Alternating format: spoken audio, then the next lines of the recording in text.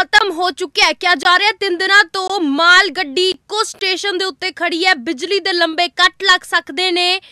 Thermal plants ਦੇ ਵਿੱਚੋਂ ਕੋਲਾ ਮੁੱਕ ਚੁੱਕਿਆ ਤਾਂ ਇਹ ਹੈਰਾਨ ਕਰਦੀ ਖਬਰ ਹੈ। ਸਾਰਿਆਂ ਨੂੰ ਭਾਜੜਾ ਦੇ ਵਿੱਚ ਪਾਇਆ ਹੋਇਆ ਹੈ। ਇਸ ਪਰੇਸ਼ਾਨੀ ਨੇ ਸੂਬੇ ਦੀਆਂ ਸਰਹੱਦਾਂ ਦੇ ਉੱਤੇ ਚੱਲ ਰਹੇ ਕਿਸਾਨੀ ਸੰਘਰਸ਼ ਨੇ ਰੇਲ ਸੇਵਾਵਾਂ ਨੂੰ ਬੁਰੀ ਤਰ੍ਹਾਂ ਪ੍ਰਭਾਵਿਤ ਕੀਤਾ ਹੋਇਆ ਹੈ। ਸਿੱਟੇ ਵਜੋਂ ਥਰਮਲ ਪਲਾਂਟ ਨੂੰ ਕੋਲੇ ਦੀ ਸਪਲਾਈ ਜਿਹੜੀ ਹੈ ਬੰਦ ਹੋ ਗਈ ਹੈ। ਗੋਬਿੰਦਗੜ੍ਹ ਥਰਮਲ ਪਲਾਂਟ ਕੋਲੇ ਦੀ ਸਪ- ਜਿਹੜੀ ਸਪਲਾਈ ਬੰਦ ਹੋ ਗਈ। ਦਰਸਲ ਧਨਬਾਦ ਤੋਂ ਗੋਬਿੰਦਗੜ੍ਹ ਜਾਣ ਵਾਲੀ ਕੋਲੇ ਨਾਲ ਲੱਦੀ ਇੱਕ ਮਾਲ ਗੱਡੀ ਪਿਛਲੇ 3 ਦਿਨਾਂ ਤੋਂ ਕੈਂਟ ਰੇਲਵੇ ਸਟੇਸ਼ਨ ਦੇ ਉੱਤੇ ਲਾਈਨ ਨੰਬਰ 5 ਤੇ ਖੜੀ ਹੈ। ਇਸ ਤੋਂ ਬਾਅਦ ਸਹਾਰਨਪੁਰ ਅੰਬਾਲਾ ਰੇਲ ਸੈਕਸ਼ਨ ਦੇ ਉੱਤੇ ਕਈ ਹੋਰ ਮਾਲ ਗੱਡੀਆਂ ਨੂੰ ਵਿਰੋਧ ਦਿੱਤਾ ਗਿਆ। ਹੈ ਸਾਰੀ ਕਾਰਵਾਈ ਜਿਹੜੀ ਹੈ ਵੰਦੇ ਭਾਰਤ ਐਕਸਪ੍ਰੈਸ ਅਤੇ ਹੋਰ ਜਿਹੜੀਆਂ ਐਕਸਪ੍ਰੈਸ ਟ੍ਰੇਨਾਂ ਨੇ, ਉਹਨਾਂ ਨੂੰ ਸਮੇਂ ਸਿਰ ਚਲਾਉਣ ਦੇ ਲਈ ਕੀਤੀ ਗਈ ਹੈ। ਇਸ ਦੇ ਬਾਵਜੂਦ ਰੇਲ ਗੱਡੀਆਂ ਆਪਣੇ ਨਿਰਧਾਰਤ ਸਮੇਂ ਤੋਂ ਬਹੁਤ ਜ਼ਿਆਦਾ ਦੇਰੀ ਦੇ ਨਾਲ ਚੱਲ ਰਹੀਆਂ ਨੇ, ਜਿਵੇਂ ਕਿ ਐਤਵਾਰ ਨੂੰ ਕੈਂਟ ਰੇਲਵੇ ਸਟੇਸ਼ਨ ਦੇ ਉੱਤੇ ਆਉਣ ਵਾਲੀਆਂ ਗੱਡੀਆਂ ਸ਼ਾਮ ਨੂੰ ਸਟੇਸ਼ਨ ਤੇ ਪਹੁੰਚੀਆਂ, ਜਦੋਂ ਕਿ ਸ਼ਾਮ ਨੂੰ ਜਿਹੜਾ ਆਉਣ ਵਾਲੀਆਂ ਗੱਡੀਆਂ ਅਗਲੇ ਦਿਨ ਸਵੇਰੇ ਸਟੇਸ਼ਨ ਤੇ ਪਹੁੰਚੀਆਂ। ਤਾਂ ਇਹ ਵੱਡੀ ਜਿਹੜੀ ਹੈ ਇਸ ਵੇਲੇ ਦੀ ਖਬਰ ਹੈ ਕਿ ਕਾਫੀ ਲੰਬੀ ਦੇਰੀ ਜਿਹੜੀ ਹੈ ਹੋ ਰਹੀ ਹੈ। ਟ੍ਰੇਨਾਂ ਨੂੰ ਆਪਣੇ ਸਮਾਂ ਸਿਰ ਪਹੁੰਚਣ ਤੇ ਜਾਣਕਾਰੀ ਮੁਤਾਬਕ ਨਵੀਂ ਦਿੱਲੀ ਅਤੇ ਕਟੜਾ ਵਿਚਾਲੇ ਚੱਲ ਰਹੀ 22457 ਵੰਦੇ ਭਾਰਤ ਜੋ ਇਸ ਦਾ ਨੰਬਰ ਹੈ, ਐਕਸਪ੍ਰੈਸ ਜਿਹੜੀ ਹੈ, ਉਹ 5 ਘੰਟੇ 50 ਮਿੰਟ ਦੀ ਦੇਰੀ ਦੇ ਨਾਲ ਮੰਜ਼ਿਲ ਸਟੇਸ਼ਨ ਦੇ ਉੱਤੇ ਪਹੁੰਚੀ ਹੈ। ਇਸ ਦੇ ਬਦਲੇ ਜਿਹੜੀ ਹੈ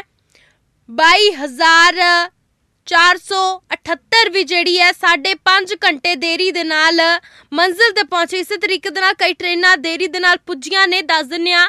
ਇਸ ਬਾਬਤ ਅਨਾਉਂਸ ਕਰਨ ਵਾਲੇ ਸਟਾਫ ਨੂੰ ਸਟੇਸ਼ਨ ਦੇ ਉੱਤੇ ਟ੍ਰੇਨ ਦੇ ਆਉਣ ਬਾਰੇ ਸਹੀ ਜਾਣਕਾਰੀ ਨਹੀਂ ਹੈ। ਅਜਿਹੀ ਇੱਕ ਸਮੱਸਿਆ ਜਿਹੜੀ ਹੈ ਸਟੇਸ਼ਨ ਮਾਸਟਰ ਅੱਗੇ ਰੱਖਦਿਆਂ ਛਾਉਣੀ ਦੀ ਵਸਨੀਕ ਨੇ ਜਿਹੜਾ ਦੱਸਿਆ ਉਸ ਦਾ ਸੋਮਵਾਰ ਨੂੰ ਫਰੀਦਾਬਾਦ ਵਿੱਚ ਪੇਪਰ ਹੈ। ਉਸਨੇ ਅੰਮ੍ਰਿਤਸਰ ਇੰਦੌਰ ਐਕਸਪ੍ਰੈਸ ਰਾਹੀਂ ਜਾਣਾ ਸੀ। ਉਹ ਸਵੇਰੇ 6 ਵਜੇ ਤੋਂ ਕੈਂਟ ਸਟੇਸ਼ਨ ਤੇ ਬੈਠੀ ਅਤੇ ਹੁਣ ਦੁਪਹਿਰ ਦਾ 1 ਵੱਜ ਚੁੱਕਿਆ ਪਰ ਟ੍ਰੇਨ ਨਹੀਂ ਆਈ ਹੈ।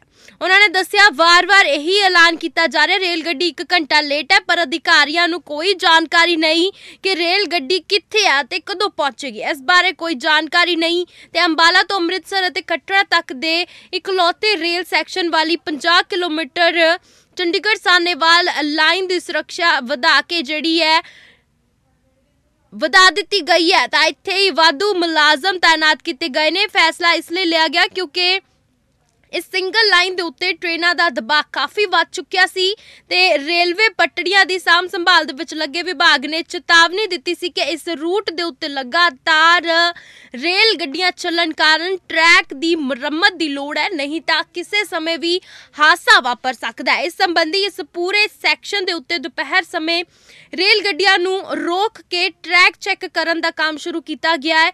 ਇਸ ਕੰਮ ਨੂੰ ਪੂਰਾ ਕਰਨ ਦੇ ਲਈ ਕਦੇ 2 ਤੇ ਕਦੇ 4 ਘੰਟੇ ਦਾ ਲੰਮਾ ਸਮਾਂ ਜਿਹੜਾ ਲਿਆ ਜਾ ਰਿਹਾ ਹੈ। ਜਿਹੜੀ ਸ਼ੰਭੂ ਸਰਹੱਦ ਦੀ ਜੇਕਰ ਗੱਲ ਕਰੀਏ, ਉਸ ਦਾ ਵੀ ਅਪਡੇਟ ਤੁਹਾਡੇ ਨਾਲ ਸਾਂਝਾ ਕਰਾਂਗੇ ਕਿ ਸਰਹੱਦ ਦੇ ਉੱਤੇ, ਸੰਭ- ਸ਼ੰਭੂ ਸਰਹੱਦ ਤੇ ਬੈਠੇ ਕਿਸਾਨਾਂ ਕਾਰਨ ਹਰਿਆਣਾ ਦਾ ਪੰਜਾਬ ਦੇ ਨਾਲੋਂ ਸੰਪਰਕ ਟੁੱਟ ਚੁੱਕਿਆ ਹੈ। ਇਸੇ ਦਰਮਿਆਨ ਅੰਬਾਲਾ, ਲੁਧਿਆਣਾ ਮੇਨ ਲਾਈਨ ਦੇ ਉੱਤੇ ਸ਼ੰਭੂ ਰੇਲਵੇ ਸਟੇਸ਼ਨ ਰੇ- ਨੇੜੇ ਜਿਹੜਾ ਰੇਲਵੇ ਲਾਈਨਾਂ ਦੇ ਉੱਤੇ ਕਿਸਾਨ ਬੈਠੇ ਹੋਣ ਕਾਰਨ ਜਿਹੜਾ ਰੇਲ ਸੇਵਾ ਠੱਪ ਹੋ ਚੁੱਕੀ ਹੈ, ਅੰਬਾਲਾ ਲੁਧਿਆਣਾ ਰੇਲਵੇ ਸੈਕਸ਼ਨ ਤੇ ਕਿਸਾਨਾਂ ਦੇ ਧਰਨੇ ਦਾ ਅੱਜ 19ਵਾਂ ਦਿਨ ਹੈ। ਅਜਿਹੇ ਦੇ ਵਿੱਚ ਹੁਣ ਤੱਕ 3400 ਤੋਂ ਜ਼ਿਆਦਾ ਟ੍ਰੇਨਾਂ ਦਾ ਸੰਚਾਲਨ ਪ੍ਰਭਾਵਿਤ ਹੋਇਆ ਹੈ। ਕਾਫੀ ਵੱਡੀ ਗੱਲ ਹੈ। ਜੇਕਰ ਰੇਲਵੇ ਦੇ ਘਾਟੇ ਦੀ ਗੱਲ ਕਰੀਏ ਤਾਂ ਇਹ ਵੀ ਕਰੋੜਾਂ ਰੁਪਏ ਤੱਕ ਪਹੁੰਚ ਚੁੱਕਿਆ ਹੈ। ਰੇਲਵੇ ਦਾ ਘਾਟਾ ਕਰੋੜਾਂ ਰੁਪਏ ਦਾ ਹੁਣ ਤੱਕ ਦਾ ਜਿਹੜਾ ਹੋ ਚੁੱਕਿਆ ਐਤਵਾਰ ਨੂੰ ਵੀ ਅੰਬਾਲਾ ਕੈਂਟ ਰੇਲਵੇ ਸਟੇਸ਼ਨ ਤੋਂ ਚੱਲਣ ਵਾਲੀਆਂ 145 ਟ੍ਰੇਨਾਂ ਦਾ ਸੰਚਾਲਨ ਪ੍ਰਭਾਵਿਤ ਹੋਇਆ। ਇਸ ਕਾਰਨ 64 ਟ੍ਰੇਨਾਂ ਨੂੰ ਰੱਦ ਕਰਨਾ ਪਿਆ ਜਦ ਕਿ 81 ਟ੍ਰੇਨਾਂ ਨੂੰ ਬਦਲਵੇਂ ਰੂਟਾਂ ਦੇ ਉੱਤੇ ਜਿਹੜਾ ਚਲਾਇਆ ਗਿਆ, ਅੰਬਾਲਾ ਤੋਂ ਸਾਨੇਵਾਲ ਵਾਇਆ ਚੰਡੀਗੜ੍ਹ ਜਾਣ ਵਾਲੀਆਂ ਮਾਲ ਗੱਡੀਆਂ ਚਲਾਈਆਂ ਜਾ ਰਹੀਆਂ ਸਨ। ਇਸ ਕਾਰਨ ਮੇਲ ਅਤੇ ਐਕਸਪ੍ਰੈਸ ਗੱਡੀਆਂ ਘੰਟਿਆਂ ਬੱਦੀ ਜਿਹੜੀ ਦੇਰੀ ਦੇ ਨਾਲ ਚੱਲ ਰਹੀਆਂ ਸਨ। ਇਹਨਾਂ ਦਾ ਸਮਾਂ ਠੀਕ ਕਰਨ ਦੇ ਲਈ ਮਾਲ ਗੱਡੀਆਂ ਦਾ ਸੰਚਾਲਨ ਕੁਝ ਸਮੇਂ ਦੇ ਲਈ ਰੋਕ ਦਿੱਤਾ ਗਿਆ। ਰੇਲਵੇ ਟਰੈਕ ਦੀ ਸੁਰੱਖਿਆ ਲਈ ਵਾਧੂ ਮੁਲਾਜ਼ਮ ਵੀ ਤਾਇਨਾਤ ਕੀਤੇ ਗਏ ਨੇ। ਪੰਜਾਬ 'ਚ ਦਿੱਲੀ, ਅੰਬਾਲਾ ਰੇਲਵੇ ਲਾਈਨ ਜਿਹੜੀ ਮੁੱਖ ਰੇਲਵੇ ਲਾਈਨ ਦੇ ਉੱਤੇ ਬੈਠੇ ਕਿਸਾਨਾਂ ਕਾਰਨ ਲਗਾਤਾਰ ਪ੍ਰਭਾਵਿਤ ਹੋ ਰਹੀ ਹੈ। ਐਤਵਾਰ ਨੂੰ ਵੀ ਦਰਜਨ ਦੇ ਕਰੀਬ ਟ੍ਰੇਨਾਂ ਨੂੰ ਰੱਦ ਕਰ ਦਿੱਤਾ ਗਿਆ ਤੇ 38 ਟ੍ਰੇਨਾਂ ਦੇ ਰੂਟ ਮੋੜ ਦਿੱਤੇ ਗਏ ਨੇ। ਇਸ ਰੂਟ ਤੇ ਚੱਲਣ ਵਾਲੀਆਂ ਬਾਕੀ ਟ੍ਰੇਨਾਂ ਵੀ ਵਿਅਸਤ ਆਵਾਜਾਈ ਕਾਰਨ ਦੇਰੀ ਨਾਲ ਪੁੱਜੀਆਂ। ਤੇ ਕਾਲਕਾ ਸ਼ਤਾਬਦੀ ਐਕਸਪ੍ਰੈਸ ਵੀ 1 ਘੰਟਾ ਦੇਰੀ ਦੇ ਨਾਲ ਪਹੁੰਚੀ। ਇਸ ਤੋਂ ਇਲਾਵਾ ਕਈ ਹੋਰ ਟ੍ਰੇਨਾਂ ਦਾ ਸਮਾਂ ਵੀ ਵਿਗੜ ਚੁੱਕਿਆ ਹੈ ਜਿਹੇ ਦੇ ਵਿੱਚ ਯਾਤਰੀਆਂ ਦੀ ਗਿਣਤੀ ਵੀ ਅੱਧੀ ਰਹਿ ਗਈ ਹੈ। ਹੋਰ ਟ੍ਰੇਨਾਂ ਦੇ ਵਿੱਚ ਬੜੀ ਮੁਕਾਬਲਤਨ ਵਧੀ ਹੈ ਤੇ ਪਾਣੀਪਤ ਰੇਲਵੇ ਸਟੇਸ਼ਨ ਦੇ ਉੱਤੇ ਰੇਲ ਗੱਡੀਆਂ ਦੇ ਦੇਰੀ ਅਤੇ ਨਾ ਪਹੁੰਚਣ ਦਾ ਸਿਲਸਿਲਾ ਐਤਵਾਰ ਨੂੰ ਵੀ ਜਾਰੀ ਰਿਹਾ।